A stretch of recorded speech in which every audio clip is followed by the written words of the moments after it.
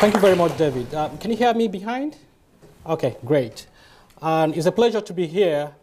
And what I would do in the next 40 to 45 minutes is to run through uh, my take on corporate social responsibility, which I will link to sustainable business, and then question whether it means anything for those in emerging markets.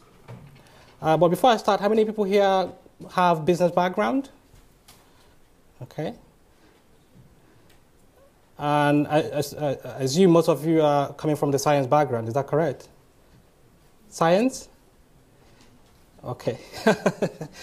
okay, let's see how far we can go. So I won't go into the hard facts. You know those ones better than I do, but I'll be much more involved in, in, in the business side of things and the political economy side of it. So I start with the view that corporate responsibility, or you can call it sustainable business, means different to different people. So I want us to go through a journey and see if we can have a common understanding of what it is, from which then we can move, move, move forward. So I have uh, the idea of CSR as accountability and citizenship, or to, up to the idea of CSR as a business philosophy, and then we ask questions about the implications for firms in emerging markets. So before I start, I want, I want us to vote. Um, and I promise this won't be the, the referendum on, on, on EU, whether UK is in the EU or not. So where would you want to, what would you want companies to do? How many people will vote for A?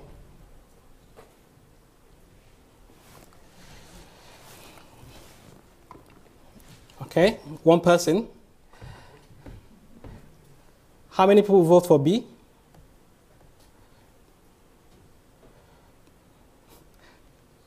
Okay.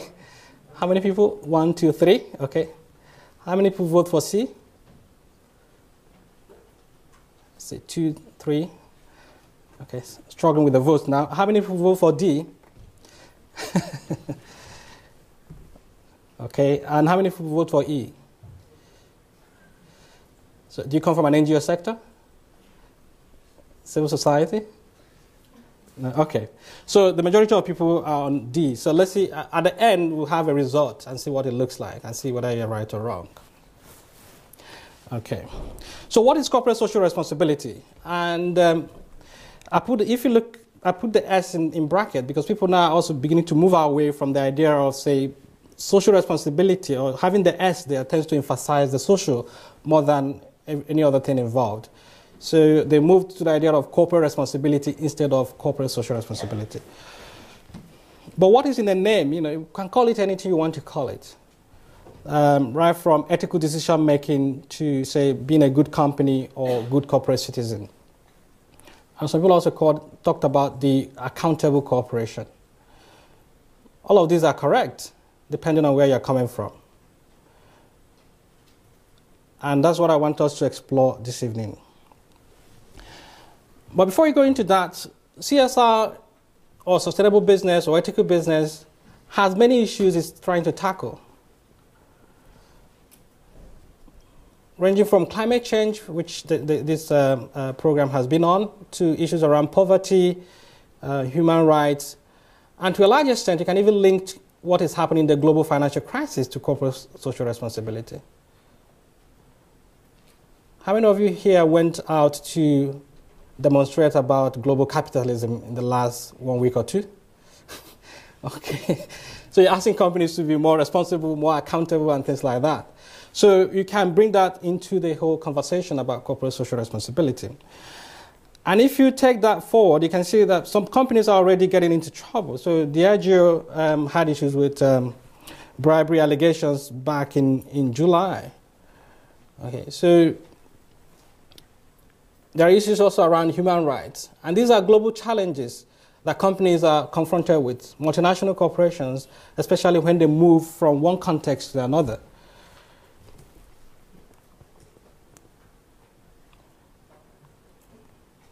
Okay, so this is about sweatshop um, scandal for those in the retail, uh, sorry, um, textile industry. And some people have started comparing what happened in Gulf of Mexico to what has been happening in Nigeria. Shell has been there for a long time doing things that, in terms of accumulated pollution or uh, uh, uh, oil spill over the years, some people argue, could be synonymous to what happened in the Gulf of Mexico. But what's the difference between the Nigerian case and the US case? The difference, if you ask me, is a strong institution, strong government, strong uh, civil society, saying that BP must be held accountable. But who, what institutions, what are the actors, or who are the actors in Nigeria to hold Shell accountable? So keep that at the back of your mind as we go through this process of saying what, defining what CSR is. So what I want to do this evening, I called it a, a clarification project because most people tend to assign CSR different levels. And here are some of the dominant views.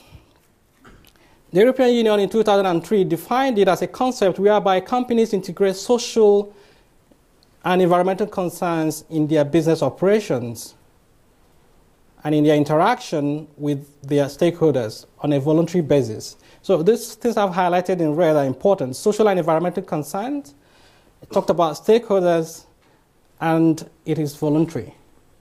Okay, this voluntary bit of it, we, we explore it. But at the end, it's about sustainable business success. Sustainable business success in the sense that the firm needs to also be profitable. Today, also, the EU gave a revised version of the definition of CSR, exactly hot from the press today. I will come to that at some point. CSR has also been defined as action that appear to further social good beyond the interest of the firm. So it's acting beyond the minimum requirement by the law. So if you're a UK company going into a developing country context, whose standards do you, do, do you need to respect? Is that that of the UK or um, that of the country the company is in? It's also been defined as companies striving to make a profit, obey the law, be ethical, and be good corporate citizen. So, however you look at it, it's still going back to that idea of companies and their impact and the need for companies to integrate both social and environmental concerns into their day to day operations. If you take that further, Carroll in 1991 highlighted these areas of responsibility. So the pursuit of profit is also an economic responsibility companies are meant to uh, deliver. St- shareholders are stakeholders, and their interests need to be represented. But sometimes when people talk about sustainable business or CSR, we tend to take for granted there are investors who are also um, entitled to, to gain something from the company. So the first thing companies need to satisfy with is economic responsibility and um, the legal responsibilities as well. So you respect the law of the, of the land. Ethical responsibilities are very shady because the question is whose ethics, who's right and who's wrong. And when it comes to that level, it's, it's a bit um, subjective. And discretionary res- responsibilities talk about um, issues around philanthropy. Although in most emerging markets, that idea of discretionary responsibility is what is generally seen as CSR. But is that the, the, the, the, view or the, the, the thinking I want to challenge this evening to say CSR is not just about charity, it's also about um, firms managing their impact. So if you look at it from a different view, so the economic responsibility is required by the society. Obeying the law or legal responsibility, we also expect companies to do that. It's required by the society. Whereas ethical responsibilities are expected and the philanthropic responsibilities are uh, desired. So I've moved from the idea of the dominant views of CSR in the literature or how people tend to look at it generally. But there are also different strands. I, I don't know how many of you are conversant with the idea of the triple bottom line, whereby asking companies not to report only on their financials, but also to include in their reports their impacts on the environment as well as on the society, social issues. And that's fitting well with the idea of CSR as a form of corporate accountability. You want companies to be accountable for their actions. You want them to be accountable for their impacts on the society.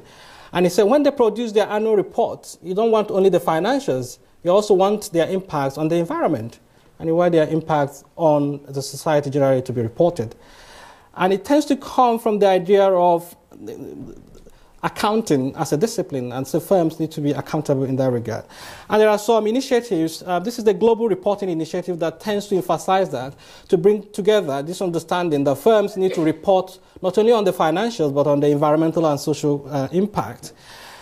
And there's currently um, a movement or a body trying to bring together uh, companies are currently producing different social reports or sustainability reports, whatever they call them, in addition to financial reports. But they're saying these two need to come together to enable the market to function effectively.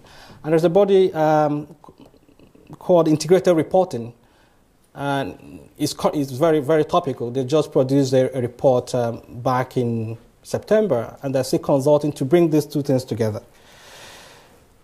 Um, the accounting for sustainability being championed by the Prince of Wales um, is also part and parcel of that agenda to hold companies accountable by saying, well, we need more than the financial reports. Tell us what you are doing in relation to the environment and the society. And here are some of the things they are looking at um, the greenhouse gases, which you'll be more conversant than I do, waste management, up to issues around human capital and the supply chain issues, customers, and, and stuff like that. This is another body called accountability, which is also patterned along this, the same line of, say, where companies need to be accountable. So these are some of the different initiatives out there to hold companies accountable, and they see it as a form of corporate social responsibility. And this is ISO 2600, which was released, um, it's not up to a year now, but helping companies to think through their impacts and how they can report those to be accountable to the society as a whole. So that's one view of CSR, CSR as accountability. So, so at the end I'll come back to it. So how many views of CSR have I mentioned this evening? And there's also this view of CSR as stakeholder engagement. I guess some of us might be conversant with this idea of stakeholder engagement that is being banded everywhere. Government is consulting with people with stakeholder engagement, and firms also engage with people. But who are the stakeholders? There are those who are affect or affected by the firm's goals. It's a broad definition. And I was talking, I had a, a master's student recently looking at whether terrorists are stakeholders. Okay? Are terrorists stakeholders to the aviation sector? To airlines? Uh, difficult question, isn't it? Um, so um, there can also be people who supply resources that are critical to the success of the enterprise. And that's very critical because employees bring their human capital to the job, to the companies, as well as investors bringing money. So if you define it broadly like that as people who provide, who supply resources, the local community where companies are investing become part and parcel of that stakeholder agenda. Okay. So these are the different definitions of um, stakeholders you may find in the literature. But there is this way of looking at stakeholders that asks the question whether terrorists are stakeholders. How do you work out where the terrorists belong here? Where will you classify them? Mitchell et al. suggested that you can look at stakeholders by using three criteria.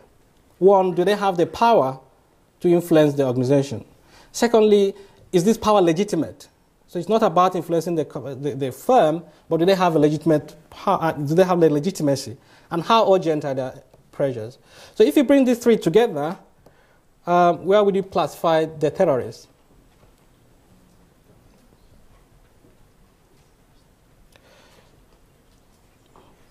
Maybe one might think they are here.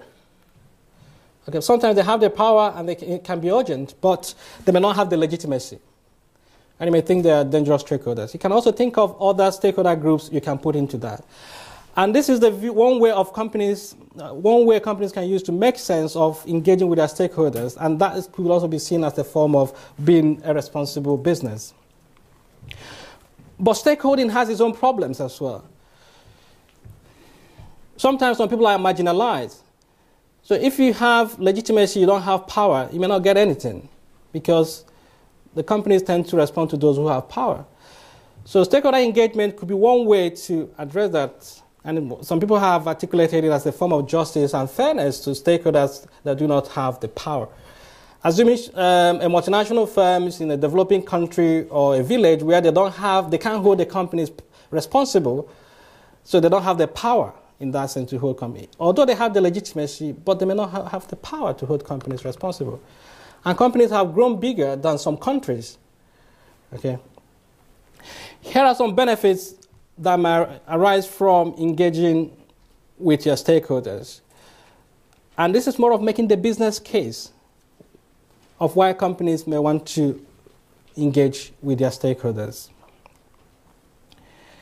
But there's also a different view. So I've come to the third one now, which is the idea of CSR as a form of corporate citizenship. So I've talked about CSR as accountability. Second one, CSR as stakeholder engagement. And the third one, as CSR as a form of corporate citizenship. And it's linked back to what I was saying earlier, and that's some companies are bigger than countries. They're richer than some countries.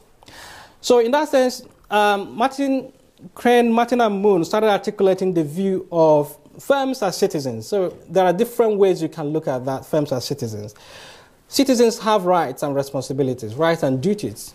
So also do companies. Companies uh, have legal personality. So they have rights, they have responsibilities, they have duties to fulfill. Okay. So at that level, you say, well, the government is up there, assuming that the government is powerful, and uh, we, the companies have the same similar responsibilities we do have as citizens. So they have to fulfill their citizen responsibilities and duties, and as well expect something from the government, from the institutional context. So that's one view of, of corporations acting as citizens. So corporations here become citizens. But there is this other way of, say, corporations participating in the citizenship but acting as governments. So they take kind of have equal role with what governments do. And we, the citizens, become more subsidiary to, to, to their interests. So this is a different view of it. And if I relate it to what is happening in most multinational, uh, sorry, in most developing countries, we see a big firm like Shell acting in the Niger Delta region of Nigeria, where people go to Shell and won't go to the government because they think Shell is, you know, kind of substitution, crowding out the responsibility of government.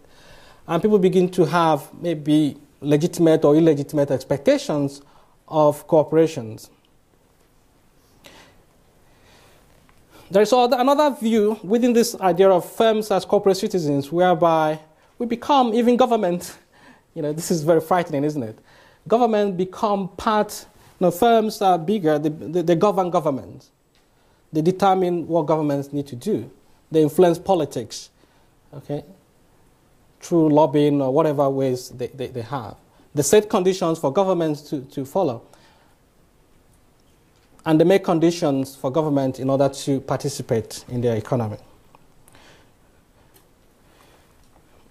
And uh, I found this recently looking at, say, multinational firms that are bigger than companies, sorry, countries. And this one here, say, Ford Motors and Daimler Chrysler, added together, is richer than Nigeria. Okay, which tells you about the size. Sometimes we talk about these companies, we, we don't appreciate their size, the magnitude they are rich. You know, they, they're bigger than some countries. So all this while, I've been making this assumption of a clear division of labor between the government and the market on one hand. So the market here will incorporate firms and other actors. I've also made an assumption that markets are perfect. Okay, I'm not an economist.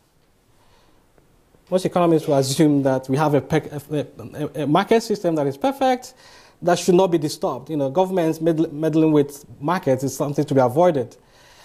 So, but I'm not one. So, but markets are imperfect and they can fail. This is Europe at the moment, you know. So, uh, so what do we take away from this? Does CSR have any role to play in governing the market? And what role can CSR play in that regard? So CSR here becomes part and parcel of the public policy mechanism whereby we can then articulate CSR as a form of market governance mechanism. And Moon and Vogel said, for all the increasing importance of CSR, public policy remains the most important vehicle by which private business purposes and broader social objectives can be reconciled. So CSR moves away from the arena of, say, what is happening in the firm or a form of charity to be part and parcel of market governance, filling the gaps that neither the market nor government can fill. And economists use this concept of externalities.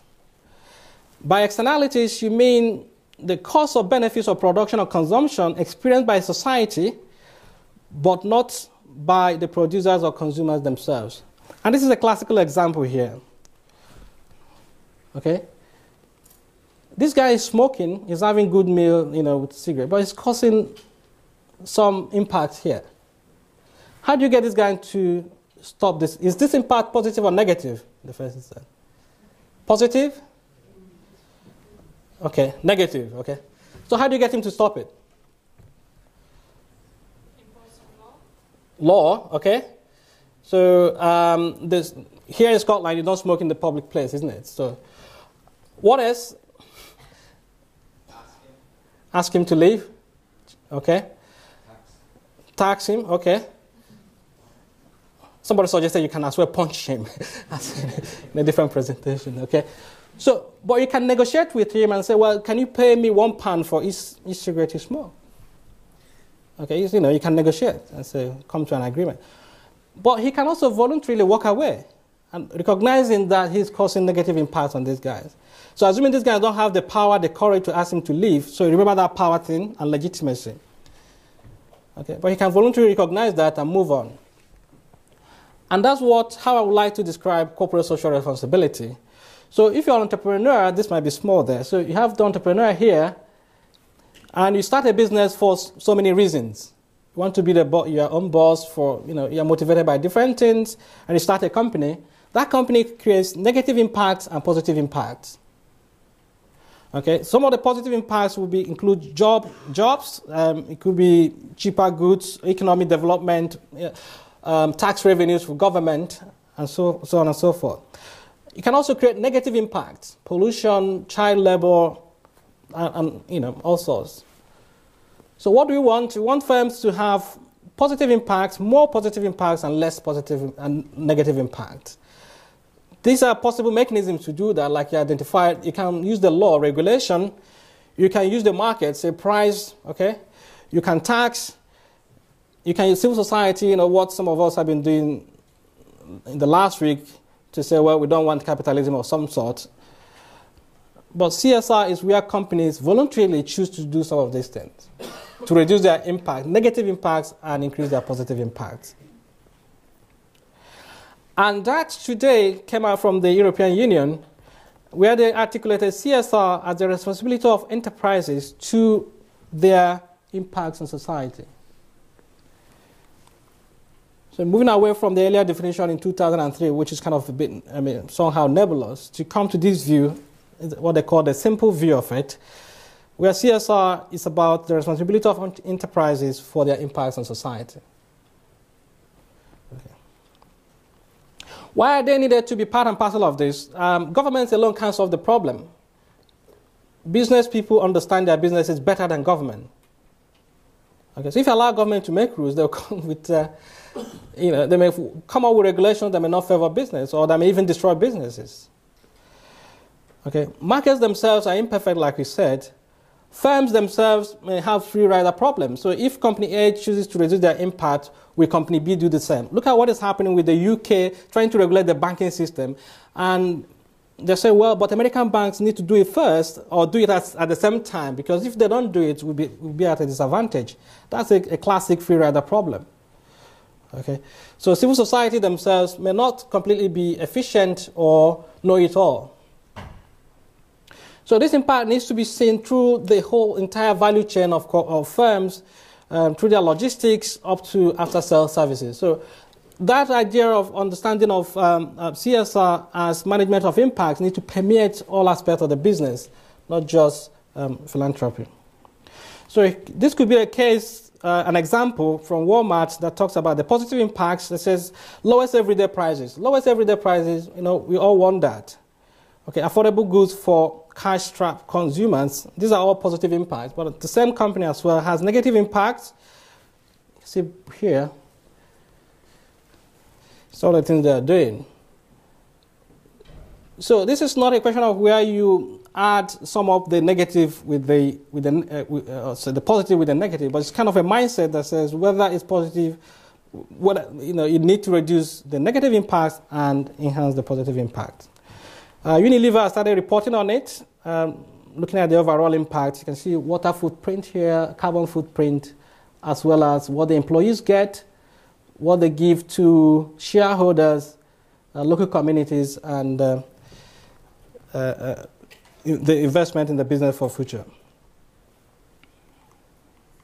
So what this means then is that CSR should not always enhance corporate financial performance. If you take this view of impact, so if you want to reduce your negative impacts, you may want to, you, you can incur cost. Okay, this cost in the short run may not necessarily translate to profit. So the idea that CSR should always enhance corporate performance then needs to be challenged. And this is what this uh, Margolis et al. are trying to do. And it says the contribution any corporate practice makes to economic welfare cannot alone justify that practice. So if you work from the view that if CSR does not add to corporate performance, therefore it is not good to have, they're challenging it and say principles of justice indicate that advancing economic welfare cannot justify the suspension or violation of other rights and duties. Okay. The other implication is that if you take that view of CSR as a governance mechanism, then it will not be the same in every country because different countries have different markets or capitalist system. In that regard, CSR will work for some people in some places on some issues and some of the time. CSR is not a solution, it's, it's part and parcel of the solution. But will it work in emerging markets?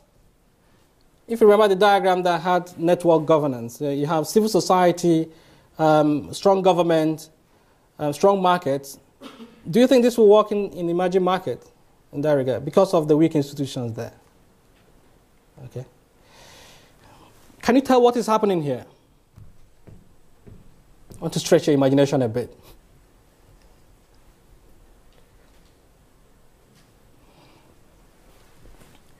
This guy is part of a gang. Okay, they're stopping the cyclists and they're collecting money from them. For them, it's a form of um, um, uh, road toll or whatever. Okay, they're sort of taking the role of government here. Okay, this is a major road, and you can see where this one is going against traffic. You know, so the kind of situation you find in some developing countries. And I visited Nigeria recently, and I took this picture. I was in traffic, so and I've said, well, this should be the role of government, not this gentleman. You know, imagine yourself on your bicycle or, you know, somebody stopping you and collecting money from you as a way, because they have got no job, they don't have jobs. So that they created employment for themselves. They've created their own governance mechanism in order to, to keep themselves, uh, sustain their practices. So should businesses be concerned about development and emerging markets? So if you're a business originating from a developed country and you're in emerging market, should you be concerned about development in that regard? The BBC, I was listening to BBC today and they're suggesting that on this date we'll get to 7 billion. Okay, on 31st of this month, the world population will get to 7 billion.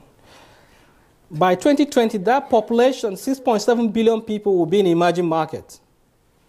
Okay, and this is from Unilever, suggesting that 20, you see the, the change here, to 2009 and 2020, there will be a shift. People, in terms of consumption, will grow. So, would the world and resources we have be sufficient to sustain this kind of movement? And what should firms do to contribute to reducing any negative impact from that. So that leads us to the other idea of CSR as a form of sustainable innovation, which is where most management thinking at the moment is looking at. So it becomes a form of shared value, where companies you know, innovate in order to benefit the firms as well as the society in which they operate. That's the, the idea of the shared value. So there is a value to the firm as well as value to the society. And that ties back to the idea of sustainability. And I like this quotation which says, We do not inherit the earth from our ancestors, we borrow it from our children. So going back to say, we need to um, make sure we are leaving the world a safer place. And this is a classical definition of, of sustainability, which I will not go through. But from a corporate perspective, it's about in, incorporating economic, social, and environmental risk into business decisions. And the three are linked. So sometimes we tend to think of economic sustainability on one hand, environmental sustainability, and social sustainability as if they are competing with each other. But you can see that they're linked.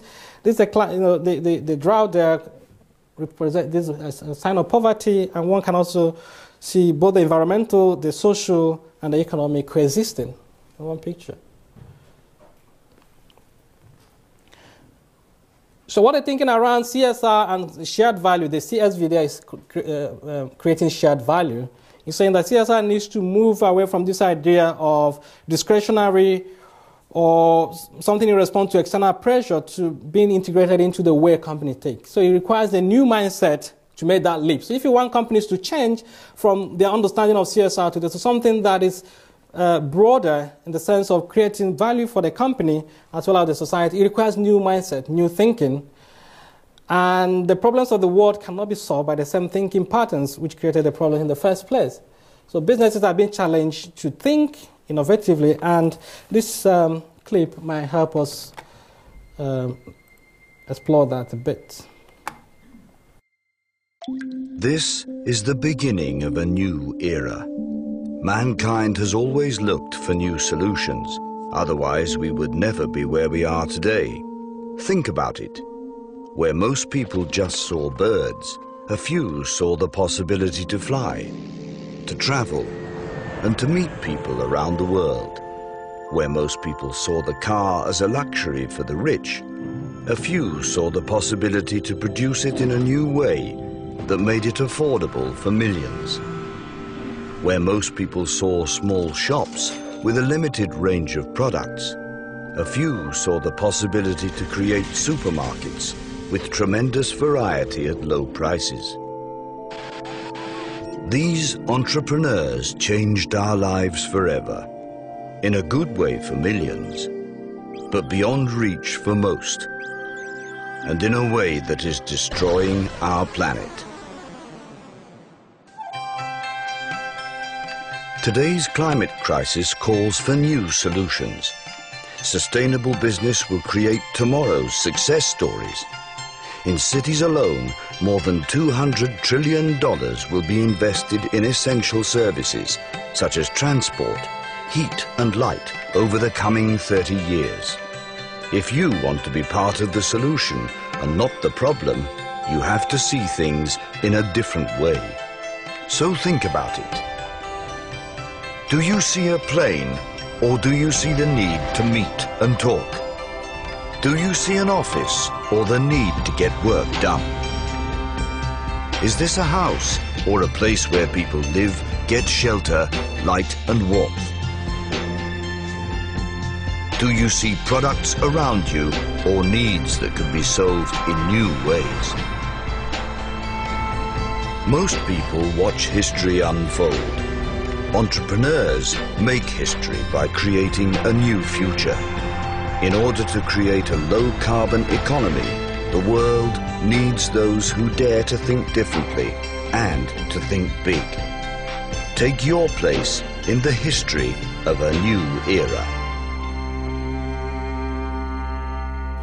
So that's about uh, the, the, thinking. Um, you know, where businesses are moving away from the idea of um, sustainable business as charity to more of innovation and shared value, where it benefits the firm as well as it also be benefit businesses. So that moves me to the other, the final bit of what I want to talk about this evening, which is about the idea of CSR as a business philosophy. So if you say, well, things need to change, then our mindset needs to change and our worldview also needs to change, and that's the philosophy I want to end up with. And it goes back to the idea of so what is the purpose of business? Uh, Milton Friedman argued that the purpose of business is business. Okay, so it's profit making. I mean, need, we are in business because of profit. But there are also businesses that have thought differently and say companies do not exist simply to make money, they make a contribution to society. And it's that mindset that will bring link sustainable innovation to creating shared value. And that's the kind of thinking I want to leave you with. So businesses can do that, entrepreneurs can do it as well. So if you look at different businesses that have existed, you know, these are some examples. If you look at their mission statement, they have something to do with stakeholders, needs of society, um, people and businesses. And one way or the other, businesses, you know, they profess to have this agenda. But the question now is for them to do it, uh, to move from rhetoric to action. So my thinking is that the way you perceive the world will inform your strategy. The thinking, what your understanding of the role of business will influence your strategies you put in place. They will also influence the outcome. So it becomes a virtuous cycle as opposed to a vicious cycle. So the, some of the key points I want to leave you with is that CSR imp- implies addressing social concerns that are socially situated. So what is the social concern in the UK might not necessarily be a social concern elsewhere and therefore CSR needs to be contextualized. Okay. Uh, one might argue that, well, what is happening, you know, if I'm in a developing country context where I may be disadvantaged, what are the strategies I can use to make sure that I'm not disadvantaged? So here, what I'm working with some colleagues and say, well, you can collaborate, you can lobby, you can also educate your consumers. So if you have a green product in most developing countries, it won't make sense because there is no market for, for it. So, but when you educate your consumers, they begin to appreciate the, the, the, the importance. And also this idea of aligning your strategy with your, your goals. Um, there was this allegation that BP was talking about beyond petroleum, but at the same time lobbying the US government not to implement some environmental policies. So there's kind of a disconnect. So if your vision and purpose is uh, to, save, to, to contribute to the society on one hand, you don't want to undermine it by practices that are not aligned to it. And this idea also, the firms continue to renew themselves because CSR is not a static con- uh, uh, construct or the things involved in it. Uh, obesity was not there 10, 15 years ago. Climate change was not there 20 odd years ago. So we don't know what will be there tomorrow. So it's about renewal, trying to adapt to the society, trying to uh, be abreast with the happenings around us. And if you want to read more about it, there is a recent report by the World Economic Forum and Boston Consulting Group looking at 16 uh, firms from emerging countries, emerging economies, they classified as champions who are doing already applying some of these strategies. So this is the final clip I'll give show to you. It's about seven minutes long, which brings together the thinking around um, creating sustainable innovation and inclusive business so that you see it in action.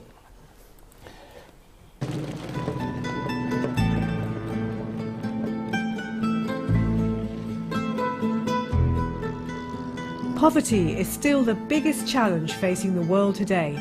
Almost 2.7 billion people worldwide live on less than $2 a day. But there's now a new and innovative way to lift millions out of poverty. It's called inclusive business and it benefits businesses, small producers and consumers. Oftentimes, the focus of the global agenda has been on climate change and global warming. While there's also another phenomenon that might be equally important, which we like to call social warming. The conflicts that might arise between rich and poor in emerging markets might start to affect the way in which business can actually adjust to the developing context. The SNV World Business Council for Sustainable Development Alliance for Inclusive Business originated recognizing that business can do more in the fight against poverty and that development, the development sector, can do more by including business. An alliance was forged between the World Business Council for Sustainable Development and SNV, the Netherlands Development Organization, with an initial focus on Latin America. By integrating both forces, the World Business Council, with over its 200 corporate members of the world's largest companies, and SNV, an international organization focused on poverty reduction that works around the world in Africa, Asia, Latin America, and the Balkan region, we brought together two trusted networks that understood both the value of business and the value of development, and in their combination, found a solution inclusive business. Inclusive business is really about taking the low income segment into the value chain of larger companies. So that might be as uh, suppliers to that company, it might be as distributors, or it might be developing affordable products and services targeting the low income consumers to improve their lives. The innovation is in approaching private businesses and seeing how these same businesses can become a vehicle for development by incorporating small producers. The business cannot succeed in societies that fail. So clearly, if half the world's population is, is struggling day to day, then that is a problem fundamentally for business because business can't engage with those actors if, if they're not part of, of the economic opportunities that are out there. The Alliance has over 40 inclusive businesses running in eight Latin American countries, with an estimated impact on the lives of over 450,000 people so far. We make use of our national partners in those countries, our national business councils for sustainable development, who act as the business convening platform in each of those countries. In Ecuador, the Alliance has introduced the inclusive business model into the supply chain of one of Ecuador's most important companies, Toni Dairies. The aim is to bring small producers into the value chain of large corporations. You can see here that my dairy farm is very rustic, but very practical. I try and manage it as efficiently as possible, but it's pretty basic. Traditionally, dairy farming had happened in the mountains of Ecuador, but land there is now scarce. There are many small dairy farmers in lowland areas, but for Toni, working with these small producers appeared at first difficult. Five or six years ago, nobody was really producing milk down here on the coast. The small amount of milk producers that did exist were only producing milk for local consumption. They had no idea at all about um, aspects on quality and how to deliver a good quality milk suitable for processing in a factory. The Alliance encouraged Toni to offer technical support to these small producers. We had to start off initially with very intensive courses on how to milk the cows, how to clean the cows, and how to make sure the milk arrived in good quality. Eh, My job within the company is to help the dairy farmers to improve the quality of the milk right there in the place where it's being produced, where the cattle are. Little by little, the quality kept on increasing, and now some of the best quality milk we're buying in the country comes from this coastal region. Another concern for Toni Dairies was the logistics. My first doubt was, is it economically possible to go and collect milk from dozens and dozens of small farmers? The Alliance was able to help. The solution was a central collection point these doubts originally, which we thought were going to be impossible to take care of, it turned out to be very, very simple to solve. They would deliver the milk to us by small trucks and horse-drawn carts, but they would deliver the milk to one central point where we could analyze it, collect it, give each farmer a ticket to collect his milk payment at the end of the week. It's done us a huge favour. It's given us price stability, and what happens? It incentivizes us to produce more milk because they buy everything we produce. And as Toni see it, the scalability of this pilot is infinite. In Ecuador, through the Alliance's advocacy, inclusive business has now become government policy there's a, a, specific ministry in Ecuador that used to call the Ministry of Welfare. Now it's called the Ministry for Social and Economic Inclusion. So that's what it is. This this this topic is so well positioned. You know, it's, it's so into it that now we have a ministry. And this public policy aims at providing inclusive business incentives to create a quarter of a million new jobs in the next four years, improving the livelihoods of 8% of Ecuador's population. Inclusive business recognises the collective responsibility for addressing poverty between the public and private sectors, as well as multilateral organisations. The SNV WB CSD Alliance has recently leveraged the involvement of the Inter American Development Bank. Partnerships are fundamental. No one entity has the full answer. It means working through the private sector, working with governments, working with civil society. This is what our Uh, idea with SNV is, and with all of our partners in, in working towards fulfilling this goal. In neighbouring Peru, the Alliance is working on the consumer side of the low-income sector. Here, nutritional products are not reaching Lima's most impoverished people at a price they can afford. The Alliance has found an enthusiastic partner in Nestle for an inclusive business pilot program. As the world's leading nutrition, health and well-being company, we have a duty to make our products available to all consumers regardless of their social level. We understand and are convinced that the real opportunity for growth for our company is in the lowest social economic group. That's where there is a huge potential for growth.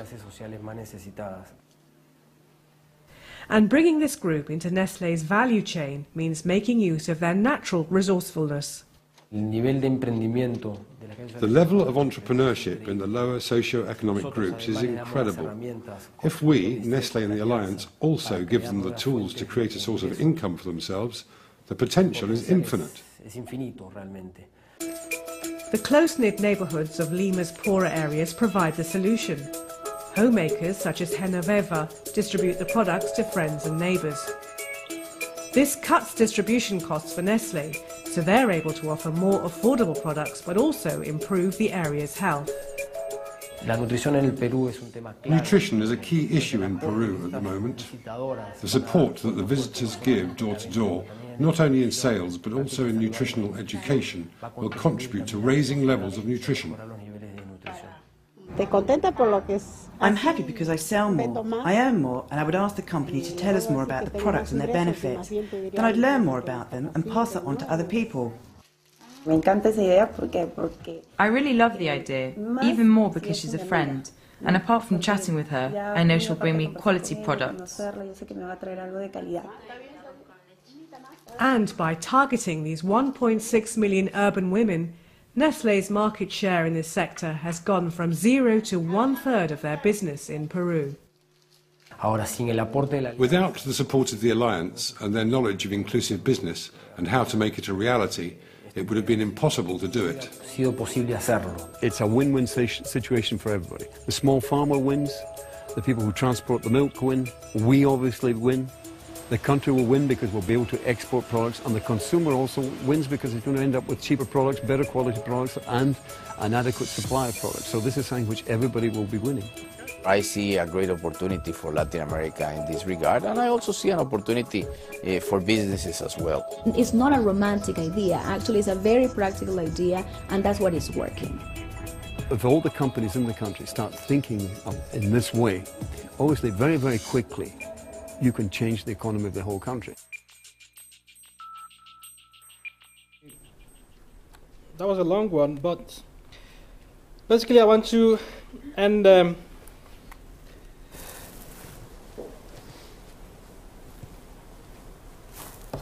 with this view that CSR is about um, foreseeing and responding to and managing the demands and expectations of local as well as global environments and then finally to tie it to both short-term and long-term value creation. So CSR, as much as long as it's a fluid concept, it comes down to just good business practice.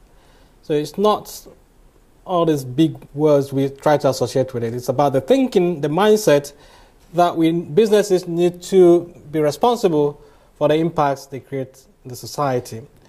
And Bill Gates is talking about creative capitalism whatever that means.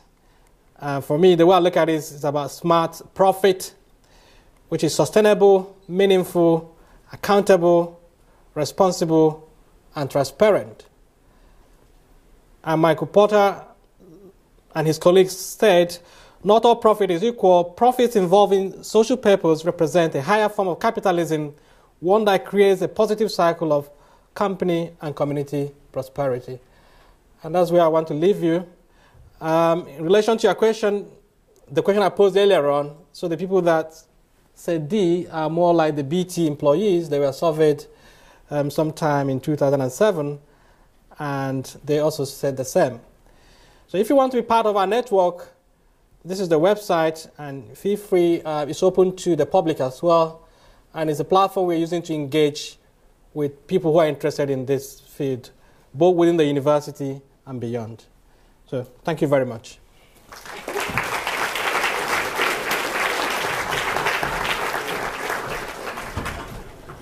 Well done, Kenneth. I was thinking we would just get about running over a bit, so it's really helpful. Yeah. Now, um, for those of you who have to leave now, please just leave quietly. But we have an opportunity now to engage in some dialogue. And I invite you, Lauren maybe, and if you're able to, to indicate if you'd like to ask a question, make a comment, or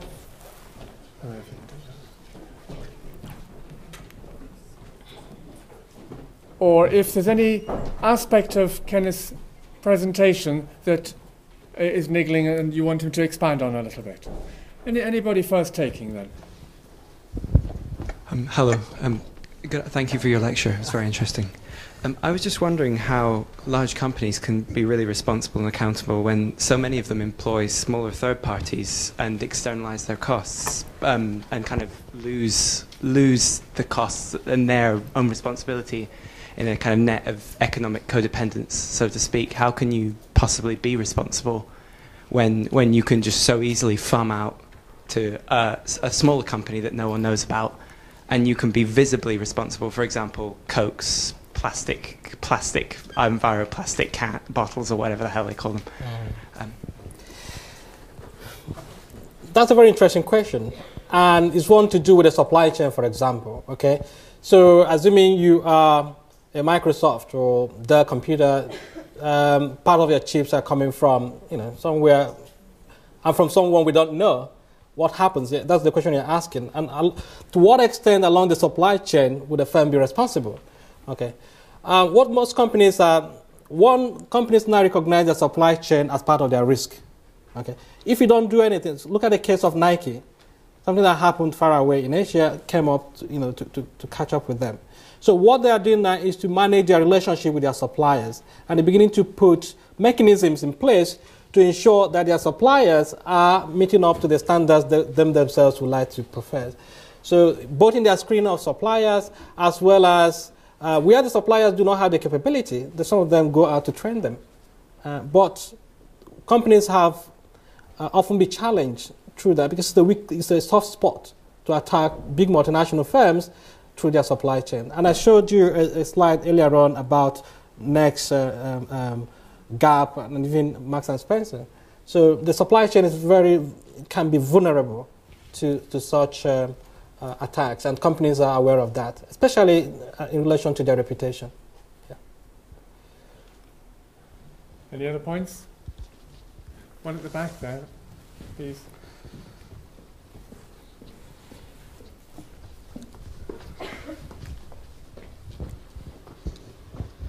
Uh, thank you for your presentation, very informative. Um, you mentioned about ethics being um, contextual. Uh, I, I didn't really get that. How, how can something is wrong, it's wrong. If it's right, it's right. What, could you explain, expand about contextual um, oh, yeah. Yeah. ethics? Yeah, interesting. I'm not a pro- professor of philosophy, uh, which is, uh, I mean, it depends. Hmm, I don't want to be controversial here, but, uh, but part of the problem in terms of even po- global politics is to a large extent hinge on what is right and what is wrong. So is it right for, for NATO to be in Libya, for example? Some people say right, some people say it's wrong. Um, in some countries, gay people are persecuted. Is it right or is it wrong? So these are some of the issues uh, that are bothering. I mean, there are also people who accept the issue of global ethics. Okay, there's kind of global, and they make reference to the United Nations Declaration of Human Rights. But some people will also disagree with some of the things in there. So, see, ethics is provide a space for contestation and negotiation. That's why I put it in that space. I'm not saying, you know, what might be right to you, I can challenge, and what I think is right, you can also challenge. It's not as clear cut as the law of gravity, where things goes up and goes down, you know. So that's what I was saying there. Um, but the question now becomes, to what extent do I think that my views are superior to yours? Okay, and how would that understanding or worldview influence how I relate to you. But some people can go into countries and respect their views, but not necessarily agreeing with them. So that's where this issue of multiculturalism is, is also what the UK is trying to promote. It's part of that. I can recognize their values, but not necessarily saying that I accept them. You know, so that, that's what I mean by that.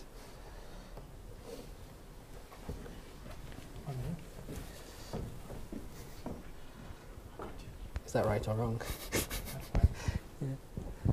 Hi, Kenneth. Hello. Thanks for your time tonight.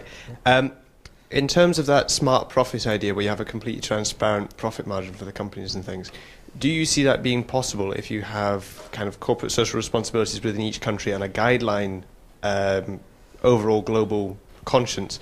Or do you see mankind being forced into a situation where we have to take on CSR as a big issue across the whole world?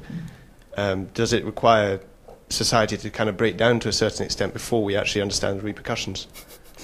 I see. Yeah, um, yeah. I wouldn't want the world uh, to break down first, uh, but CSR, if you look at it, is it's difficult to articulate everything in law. So we want to use law to, to regulate everything we want to do in the society. If you do that, the state becomes the nanny state, isn't it? So they tell us what to do, which is not far from communism. Okay, so the CSR bit is, is that leeway where you act, you know, you don't you add beyond the minimum required by the law. Um, I don't know if people have been following this news about um, a two-year-old that was run down in China, and most people pass by without doing anything.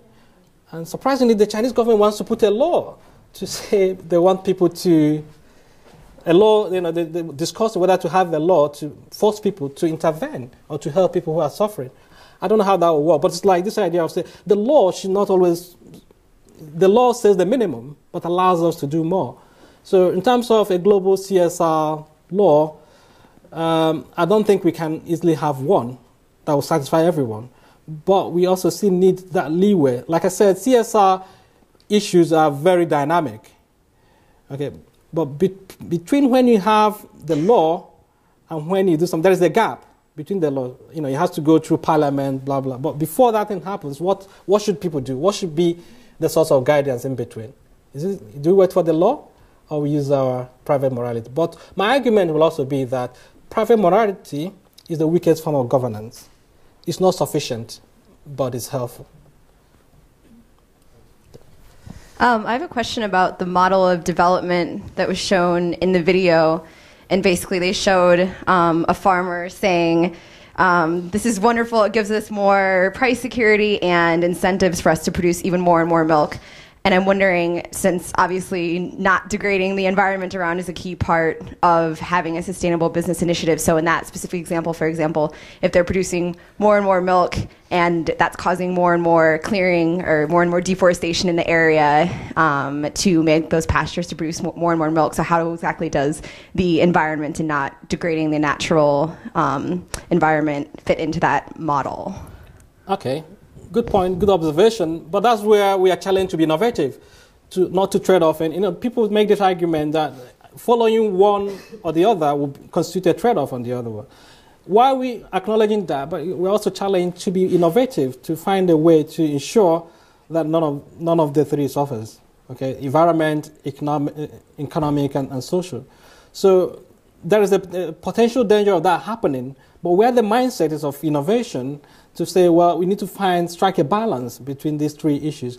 Um, that's what I'm actually going at. I'm, i may not have the specific solution, but I think the mindset, the right mindset, will help us get there, as opposed to, I don't, you know. So what you identified or what you think might be happening could be the case, although we don't have enough information from the video to ascertain.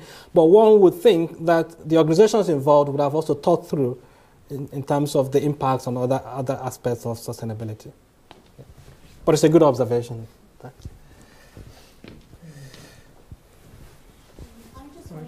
If you wait one moment. Oh, sorry. Hi, uh, thank you.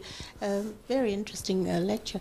I wanted to ask Have many African leaders actually seen this lecture? have you presented this to them? And because uh, apart from your example a bit about Nigeria, mm. I wanted to hear a bit more about what other African countries okay. were thinking about this lecture. And yeah. Where are you from? I'm from Zambia. Okay, I've lived here Zambia a long time. I'm Scottish. okay, good.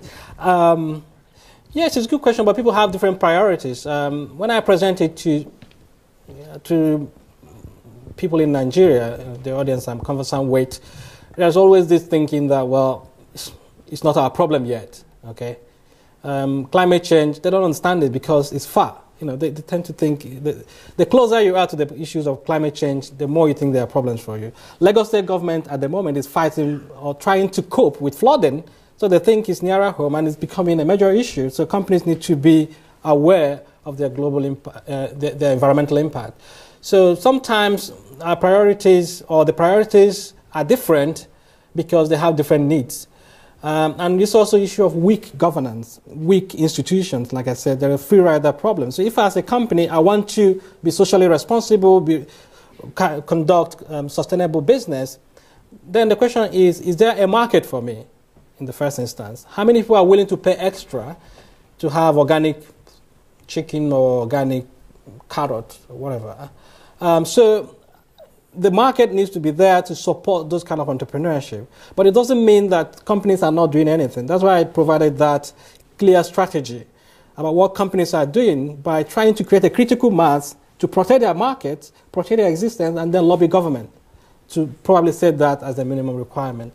Um, it's a tough one. That's why I'm thinking that sustainable business or responsible business would be very difficult in weak institutional context.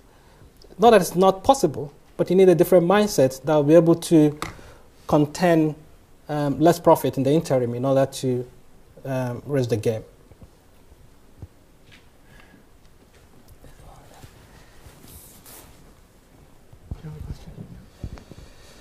Um, I just have one question. How far can governments mandate CSR before, before they become um, complacent? For instance, in uh, extractive industries, can a government mandate that their nationals living in that area must own, um, must be shareholders in the industry. Is that pushing it too far? And also, can the government mandate that um, the industry must compensate regularly as opposed to one time? So basically, how far can the government mandate an industry to um, to address CSR, and how how stringent can they be before the company starts losing money, basically? Okay.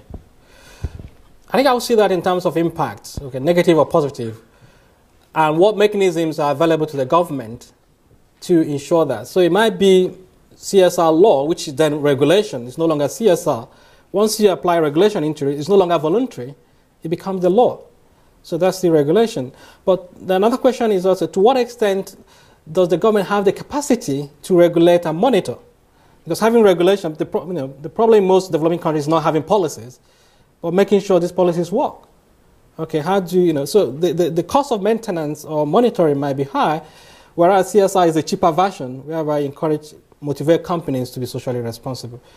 But I see the, the, the, the temptation or the attraction of regulating CSR in that. But if you regulate, it's no longer CSR. So kind of they, they move into the realm of regulation, which also have its own um, uh, prospects as well as challenges.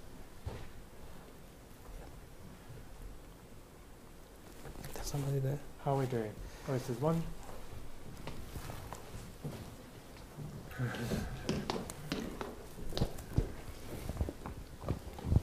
Any others lining up? Just indicate to me.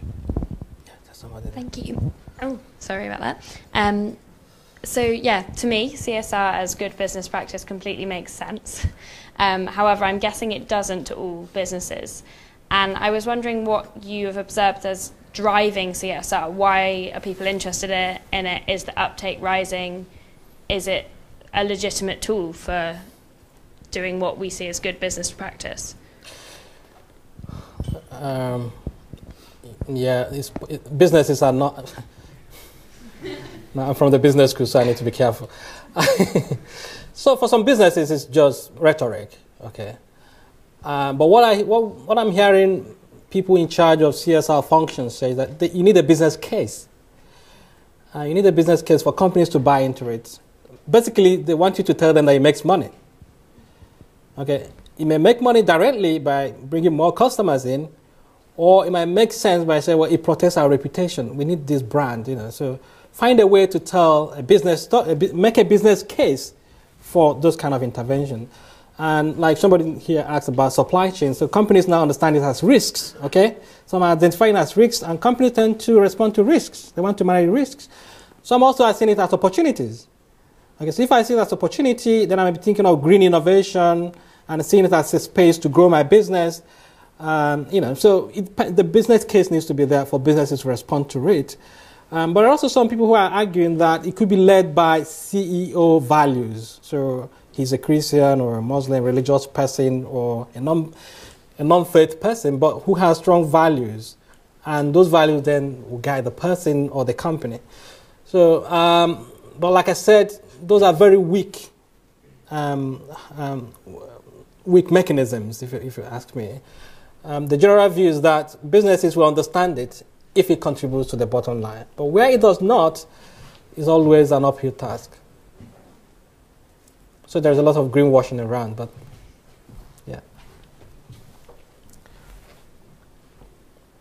Any other points anybody wishes to make?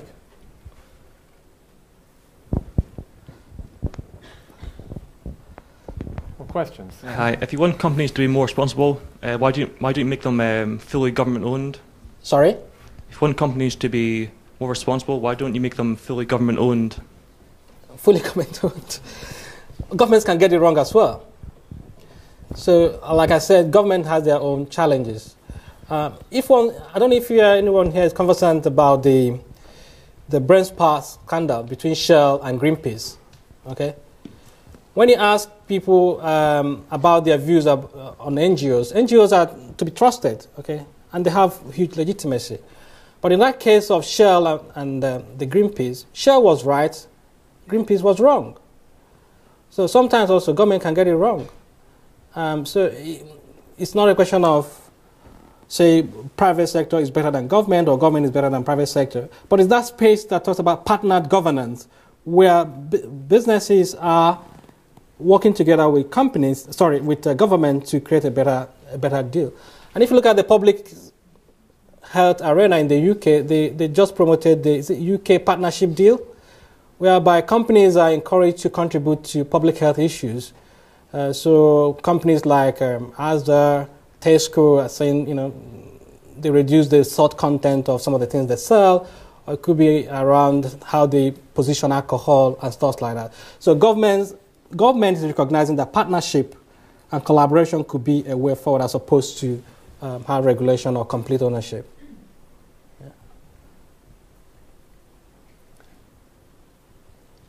Ah, there's one more at the back.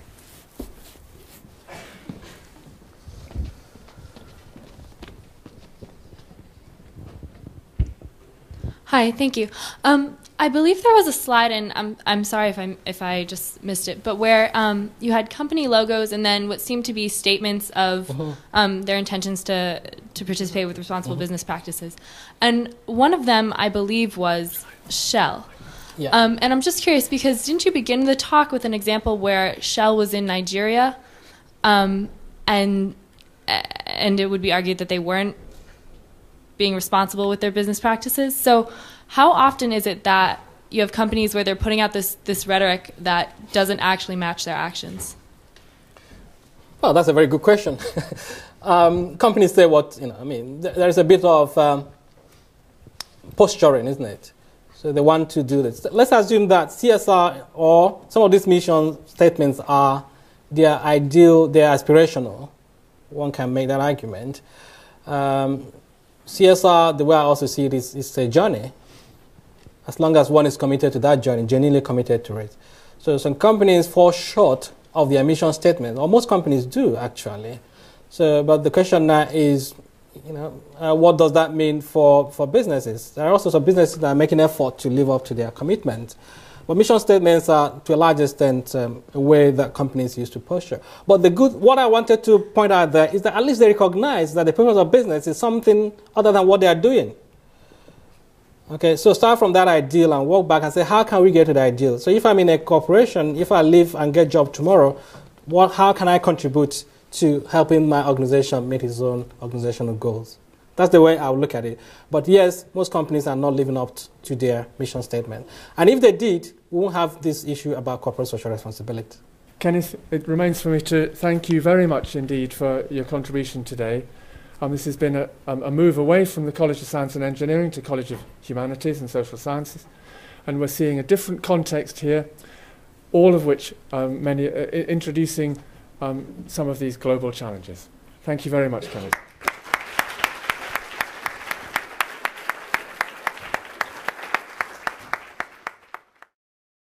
This production is copyright The University of Edinburgh.